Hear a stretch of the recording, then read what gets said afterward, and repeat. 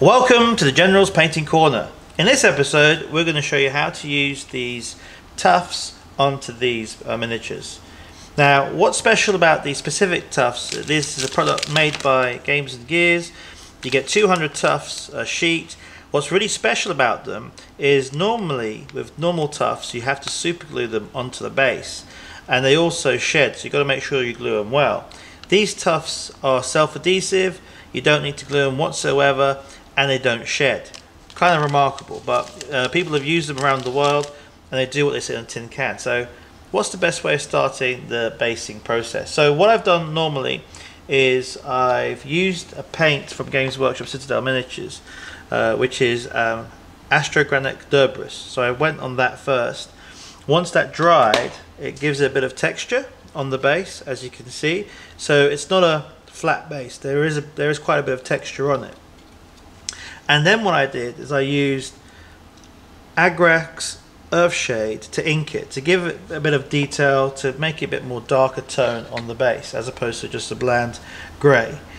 Next thing I'm going to do is now going to insert the tufts. Now, the first thing you want to do is you, and what people sometimes miss, is you want to start putting the tufts in the inside, because once you put the tufts on the outside, it's pretty hard to get into the inside of the base.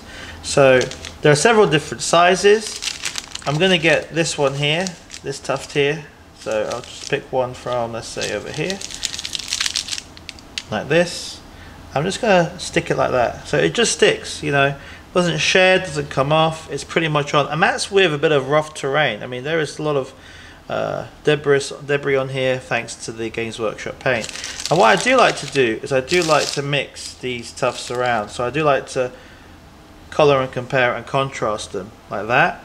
And then what you do, because there's so many tufts, I just I just mess around. Oh, yeah. It's over there. And then what I'm doing, I'm just building up the base. I'm giving the base some definition with just these two colours. Uh, there is a third colour which is a dark scorched earth look, but, but since the base is already very dark, I do want to brighten up the base and also the model here. So again, my rule of thumb always is try and get these inside the base as much as you can because once you once they're in they're kind of stuck. Um, the other thing you can also do is get a plier and then put it into the middle. Now I haven't got a plier on hand but what I'm trying to do with my fingers is get them as much inside as possible because once you put other tufts around them it's going to be pretty difficult. And what you can do as well is do the base separately and then put the model on uh, as long as you plan where the model's going to go. But as you can see, I'm getting away with a fair bit, and literally it's taking me seconds to put these on. And what I love about these is they just literally don't fall off. I mean, they're pretty hard stuck on, they don't shed. I put a little bit of force there, and as you can see, they're stuck on the base. So moving on, I'm going to finish this off by dabbing, and literally just take seconds. And there is no real art to it in a bit, but it's just that compare and contrast making bringing the base alive. Let's put this one let's put a small little grass here as well. You can do other things like put skulls around it if you want because it is a Khornate model and do they do love skulls. But hold on a second let's get around to this corner here to finish this off.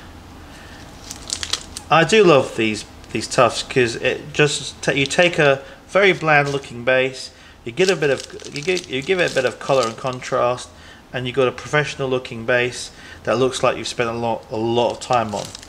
That's what I love about these tufts. They skip a lot of the process and they also look very well done. Um, there we go. That looks sexy as hell. So there you go.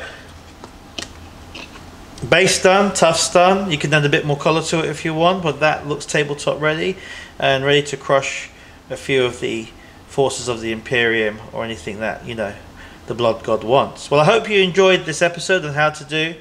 Basically, they do the business. They skip the process of having to glue every single tuft individually, one by one.